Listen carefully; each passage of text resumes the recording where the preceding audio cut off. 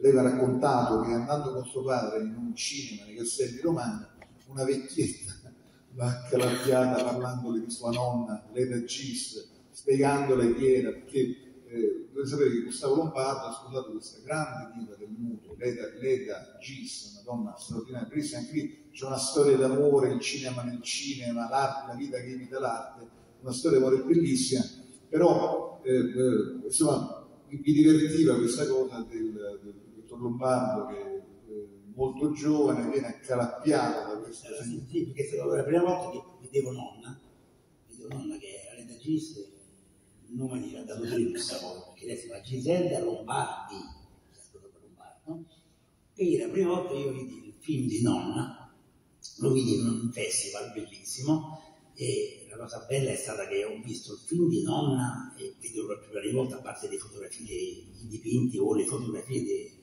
dei libri.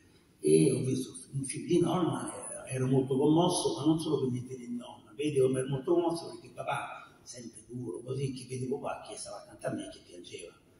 E vedendo il film di nonna, muto ovviamente era del 1930, 1900, no, 1919 il film, con l'orchestra che sotto, perciò molto umore. E quando sono ero piccolo, ero, avevo 19 anni, 18 anni, e uscendo da questo, da questo festival, una, una vecchietta mi viene da me e fa, senta per favore, mi scusi, mi fa un autografo?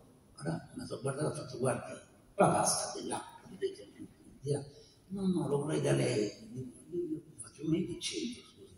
Eh, lei è il nipote, perché il nipote delle Dacisie? Lei ed è la prima volta in vita mia che ho fatto un autografo alla signora. E, e, e non, non, sapevo farlo, perché Guido Lombardo, perché sono un bambino stupido, ho scritto Guido Lombardo ma non ha fatto tanto effetto, poi ho detto papà, dice papà, una vecchietta mi ha chiesto l'autografo e lui mi ha guardato e mi ha fatto un sorriso, perché insomma era più commosso di, di aver visto il film di nonna di questo, ma queste sono le cose, le cose belle che, che, che, che ci sono successe, insomma, sono le cose che commuovono tanto applauso, grazie per aver ricordato.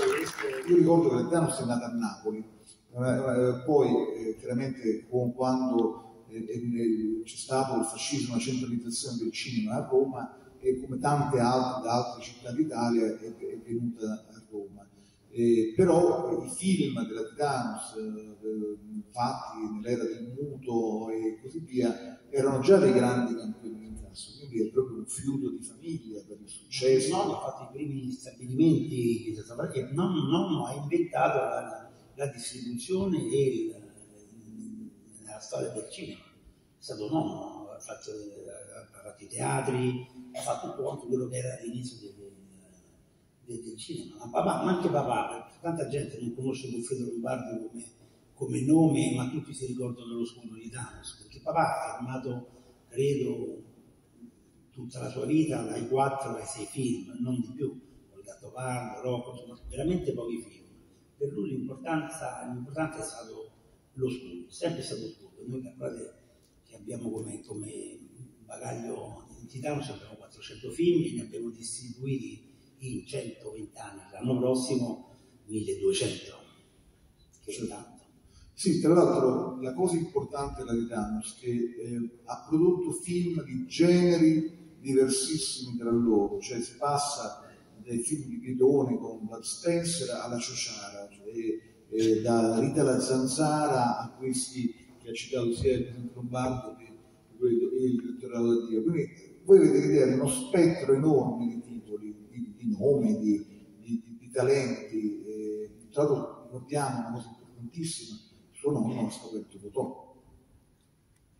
Sì, cioè, papà, papà, papà è più nonno, sono loro. Hanno, l'hanno, insomma, l'hanno. E il nonno e papà non lo trovo, non lo faccio apposta. Allora, perché il teatro porta, mettiamo tutti i tenori. E papà ha dato il nome a Sofia Loren, perché si chiama Sofia Loren. E lo vedete anche nel documentario, che Sofia ha un po' barato nel documentario, perché Sofia non si chiama Loren e il nome dato papà perché c'era un'attrice molto famosa dall'epoca, si chiama Marta Toren, Toren e papà per fregare la gente l'ha chiamata Loren. Perciò il botto, noi abbiamo ancora la lettera della mamma di Sofia che ci ha detto Lombardo lei non può cambiare nome mia figlia perché l'ha chiamata Loren. Papà l'ha chiamata Loren per far sbagliare la gente che andava al cinema, che andava a vedere, pure pensava di andare a vedere la Torre, invece vedeva Londra, che era molto bella, no? Un film in, in America. Se non fare così, veneziano ti vedo da qua. e perciò gli ha, gli cambiato nome e insomma gli andata bene, perché poi si è rimasta amica per da tutta la vita. E... Si va anche detto che quando suo padre ha incontrato Loren, già Loren non si chiamava più Sofia Scicoloni, ma si chiamava Sofia Lazzaro. E il motivo per cui era da Lazzaro, penso lo sappiate, perché vi era detto Lazzaro perché è così bella che fa risuscitare i morti. Questa era la cosa, quindi meglio Loren, insomma, penso che sia stata un'ottima intuizione.